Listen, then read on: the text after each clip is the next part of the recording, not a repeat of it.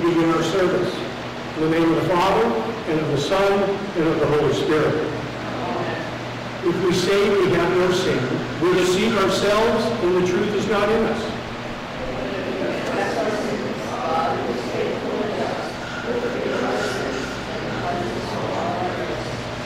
Let's take a moment to reflect on God's Word and examine ourselves.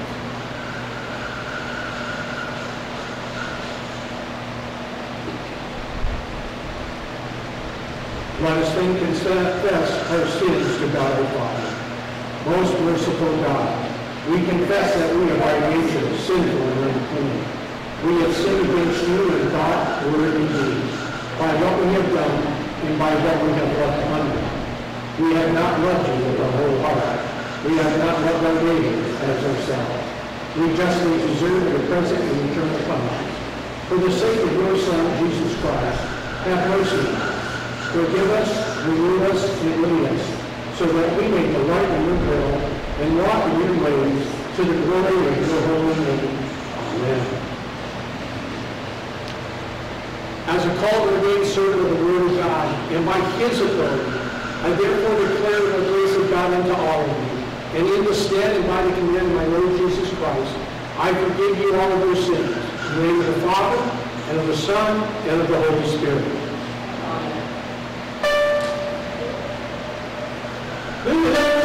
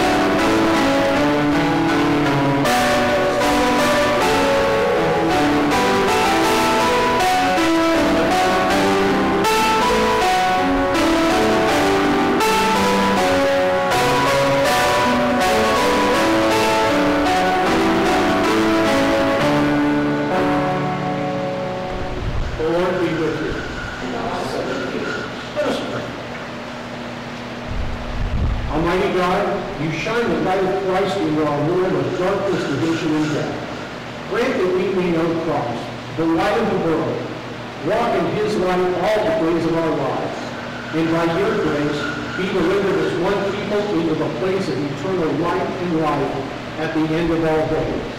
Through Jesus Christ our Lord, who lives and reigns with you in the Holy Spirit, one God, now and forever.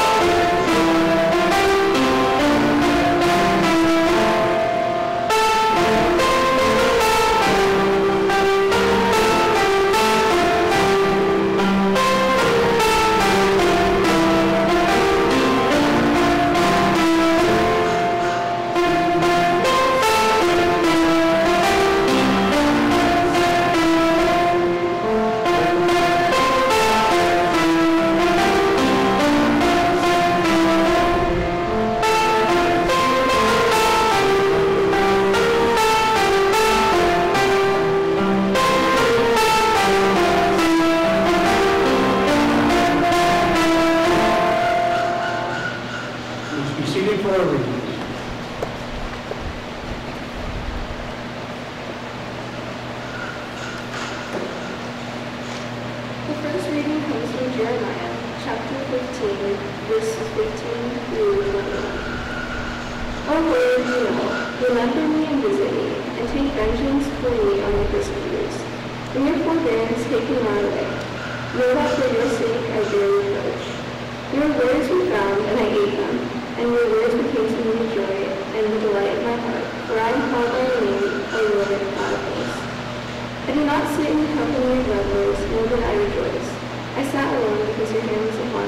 You had filled with indignation. Why is my pain unceasing, my wound incurable, refusing to be healed? When you please me like a deceitful brook, like waters that fail, Therefore, thus says the Lord, if you return, I will restore you, and you shall stand before me. If you utter what is precious and not what is worthless, you shall be of their mouth. They shall turn to you, but you shall not turn to them. And I will make you to this people a fortified wall of bronze. They will fight against you, but they shall not prevail over you. For I am with you to save you and deliver you, declares the Lord. I deliver you out of the hand of the wicked, and redeem you from the grasp of the ruthless. These are the words of life. The second reading comes from Romans chapter 12, verses 9 through 21. Let love be genuine, abhor what is evil, hold fast to what is good. Love one another with brotherly affection. Outdo one another in show of honor. Not be slothful in zeal, be fervent in spirit, serve the Lord. Rejoice in hope, be patient in tribulation, be constant in prayer. Contribute to the needs of the saints, and seek to show hospitality. Bless those who persecute you. Bless and do not curse them. Rejoice with those who rejoice. Weep with those who weep. Live in harmony with one another. Do not be haughty, but associate with the lowly. Never be wise in your own sight. Repay no one evil for evil, but give thought to do what is honorable in the sight of all. If possible, so far as it depends on you, live peacefully with all. Beloved, never avenge yourselves, but leave it to the wrath of God. For it is written, Vengeance is mine, I will repay, says the Lord. To the contrary, if your enemy is hungry, feed him. If he is thirsty, give him something to drink. For by doing so, you will be holes on his head. Not be overcome by evil, but overcome evil with good. These are the words of life. Please rise.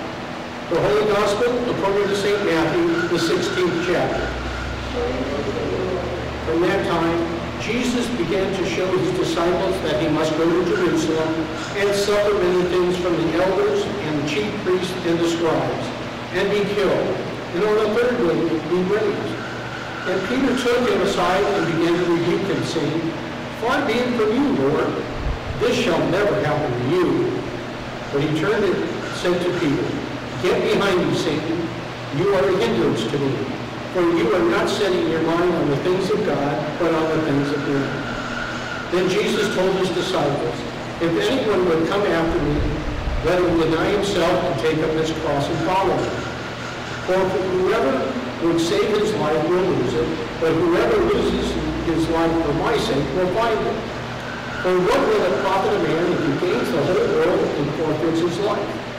Or what shall a man give in return for his life? For the Son of Man is going to come with his angels in the glory of his Father, and then he will pay each person according to what he has done. Truly I say to you, there will be some standing here who will not taste death until they see the Son of Man coming into his kingdom. This is the gospel of the Lord. Please be seated.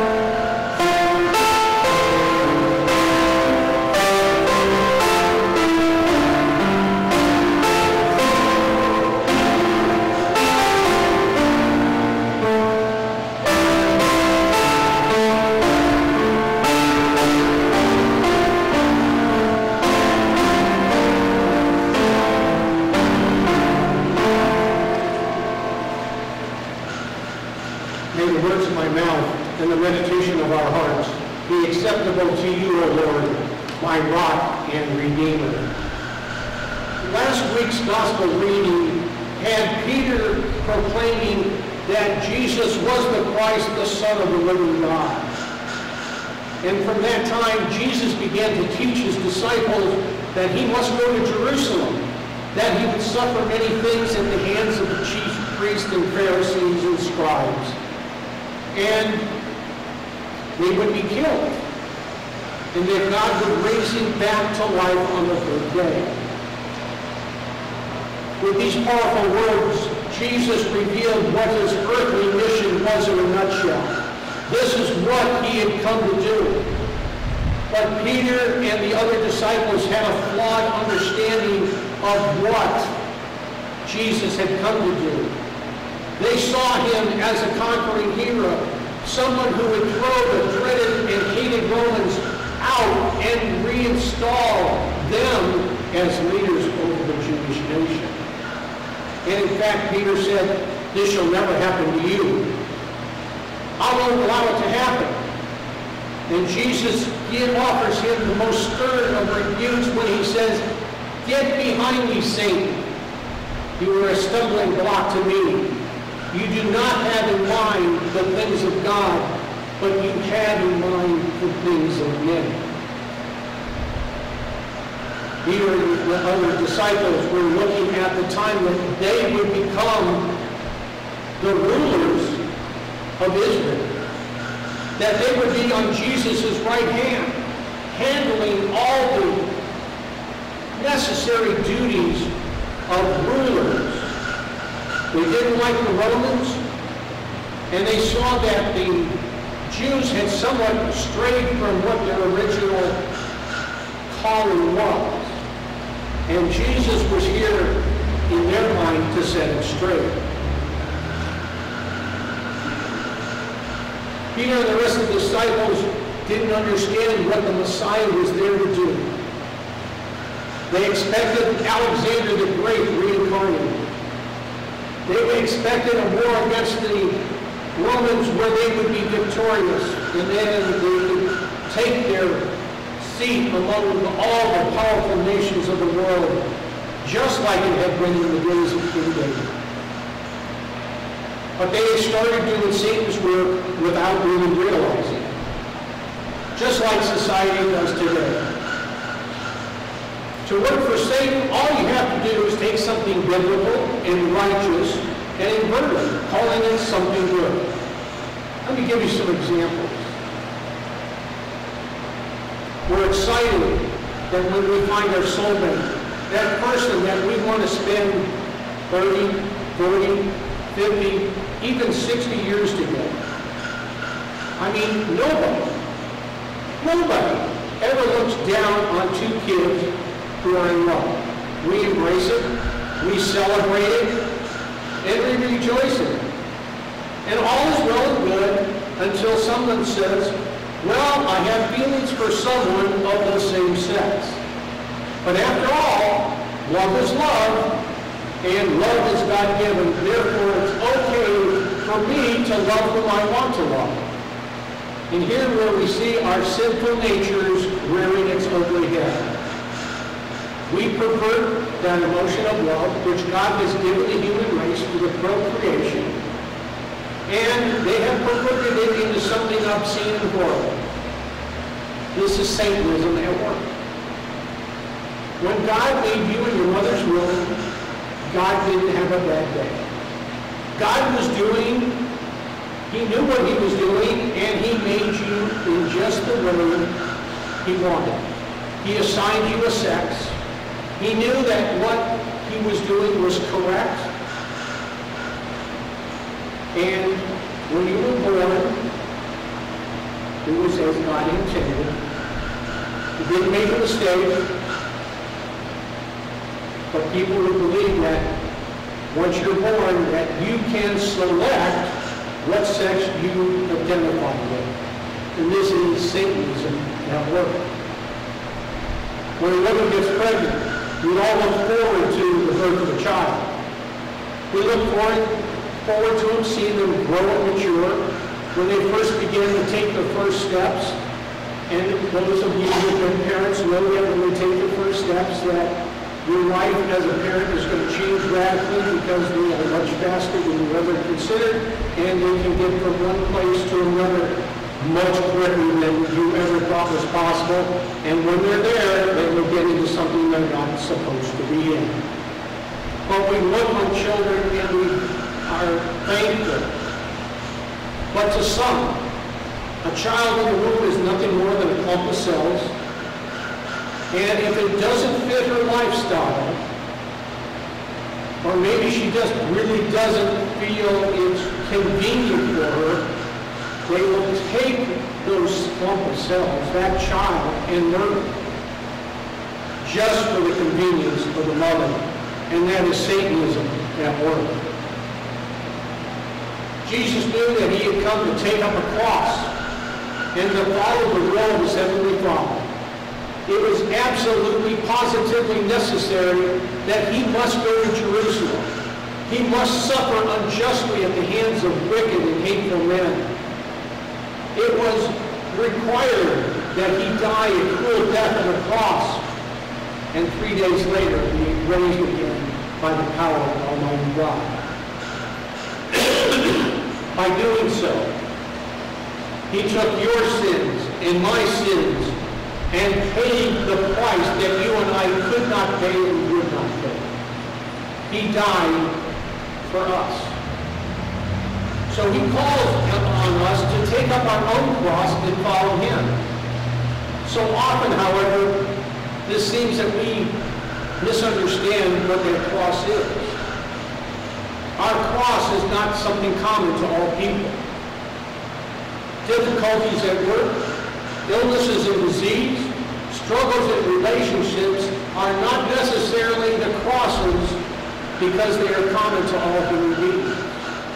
Rather, the cross that Christ calls for you and I to take up is something he places us to do willingly, to suffer because we are his followers, because we are his believers, because you and I are his disciples. Loving the unlovable, caring for the lonely and the forgotten, sharing a hug with the untouchables, volunteering to help those in need. Maybe it's something like providing a right to worship for a newcomer in our community. Giving to the Lord above and beyond the tithe to help us meet the unusual ministry challenges. God places many crosses at our feet, and it's up to us to pick it up and follow Christ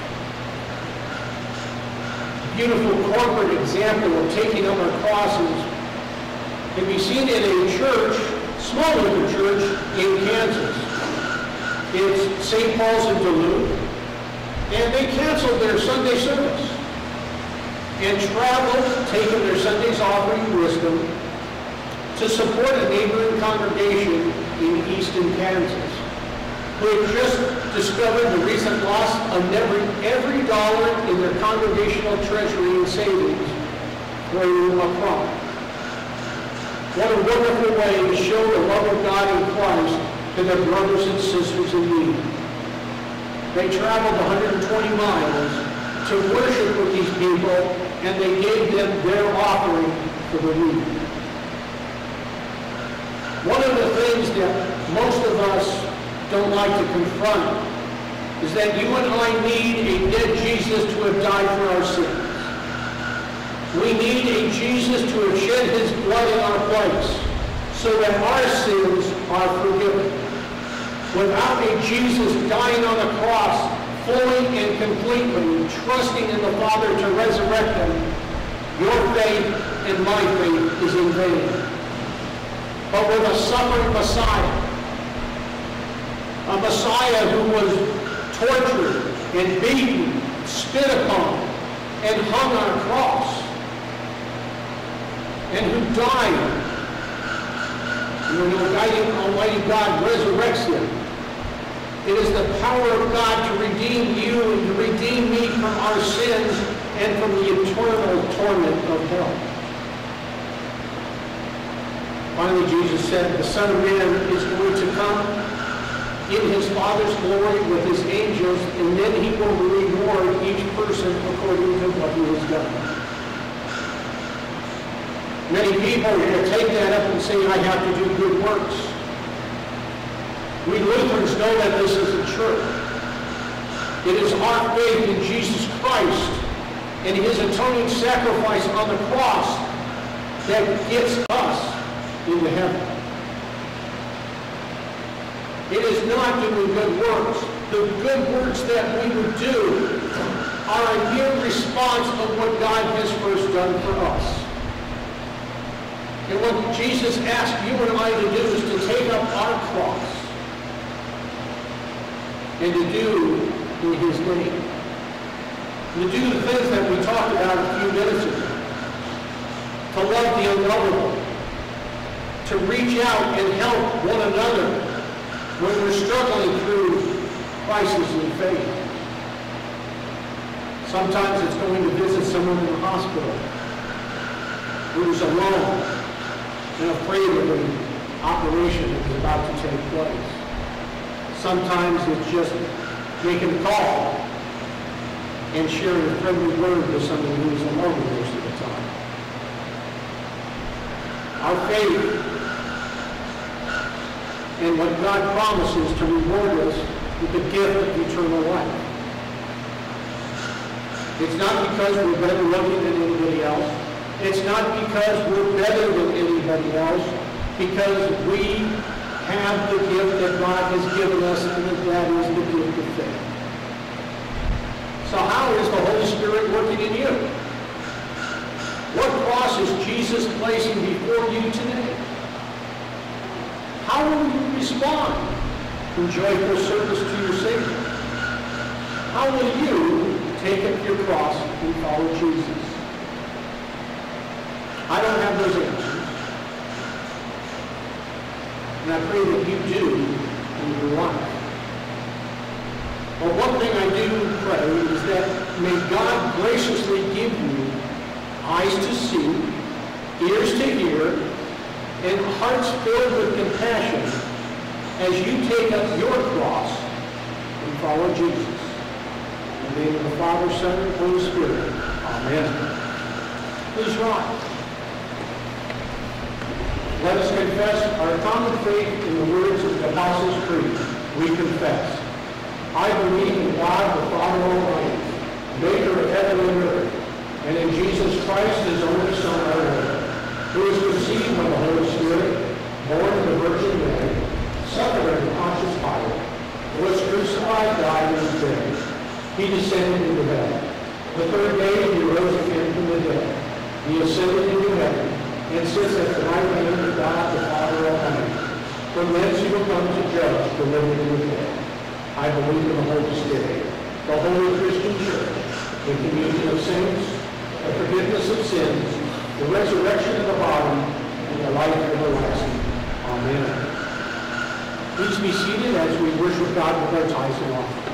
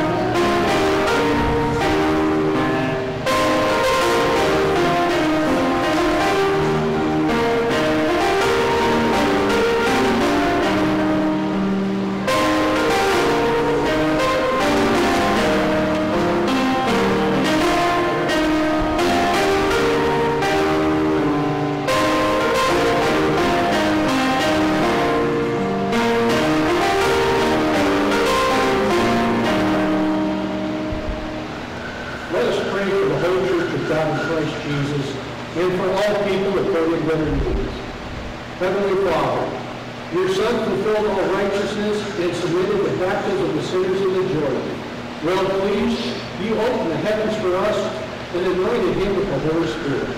As you have joined us to Christ's death and resurrection by holy baptism and have given us your Spirit, strengthen our hearts and open our ears to hear your holy word and rejoice that you have made us your beloved children in him. Lord, in your mercy. Lord God, as you have opened heaven to your church through holy baptism, give her faithful teachers to proclaim your Son, Jesus Christ, and all that with that many would repent of their sins and join in his kingdom. Lord, in your mercy. Lord God, your Son Jesus is the Christ and the true King of the world. Grant great humility to the rulers of the nations, that they would submit to the preaching of his holy word for the sake of their own souls and for the good of your holy people. Lord, in your mercy. O God, who created the heavens and stretched them out, who spread out the earth and what comes from it, have compassion on your creation. Deliver from danger all who are threatened by natural disasters, dangerous weather, war, pestilence, flood, or famine. Provide all that is needed for this body and life. Lord, your mercy. Holy God, you sent your Son as a who would preserve the bruised weak and the faint burning away.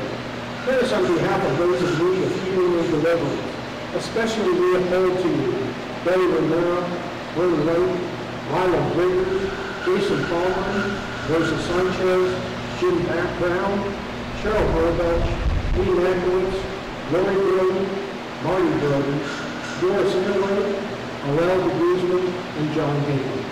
Provide healing, restoration, and justice according to your very gracious will. And grant that we will always and rejoice in your Son's everlasting faithfulness towards us. Lord, in your mercy. His baptism we were buried with Christ into death and raised with him to walk in the newness of life. As we partake of Holy Communion today, give us repentant hearts to receive Jesus' body and blood for the forgiveness of sin. In your mercy. We praise the Lord for Matthew Havens this week of his birthday.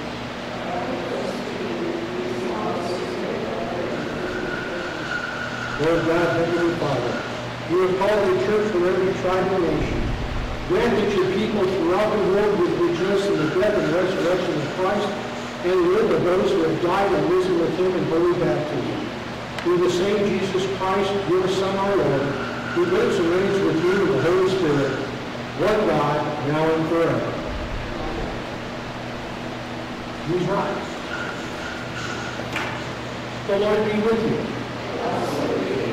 Lift up your hearts. Let us give thanks to the Lord our God.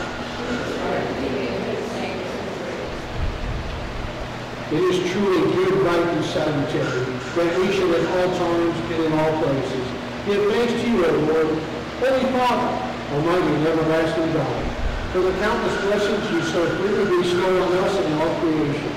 Above all, we give you thanks for your boundless love. Show it to us when you sent your only begotten Son, Jesus Christ, into our flesh, and laid on him our sin, giving him into death that we might not die eternally. Because he is now risen from the dead, and lives and reigns to all eternity, all who believe in him will overcome sin and death, and will rise again to new life. Therefore, with angels and the archangel, and with all the company of heaven, we laud and magnify your glorious name, evermore praising you and singing. Thank you.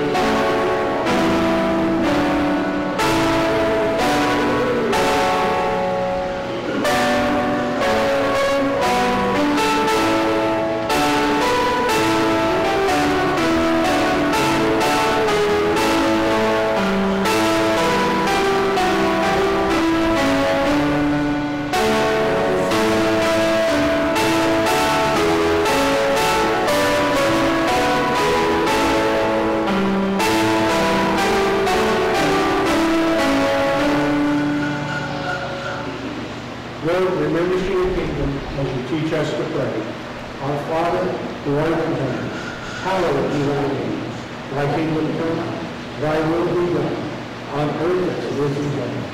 Give us this day our daily bread, And forgive us our trespasses, as we forgive those who trespass against us.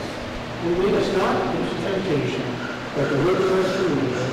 For thine is the kingdom, and the power, and the glory, forever and ever. Amen. On the night in which he was betrayed, our Lord Jesus Christ took bread. He broke it and gave it to his disciples and said, Take, eat. This is my body given for you.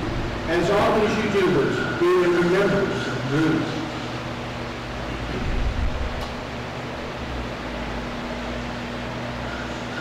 Likewise, when the supper ended, he took the cup. And again he gave thanks and praise. He gave it to them, saying, Take all of you and drink from it. This is the cup of my blood of the new covenant, shed for you for the remission of all your sins. As often as you do this, do in remembrance for me. The peace of the Lord be with you always.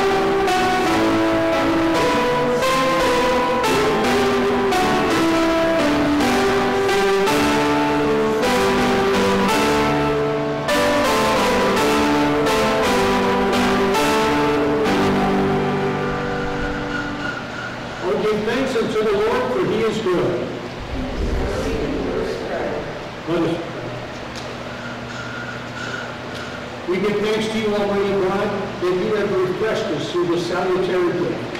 And we implore you that your mercy, that you would strengthen us with saving faith toward you and the perfect love towards one another. Through Jesus Christ, your Son, our Lord, who lives and reigns with you in the Holy Spirit, one God, now and forever.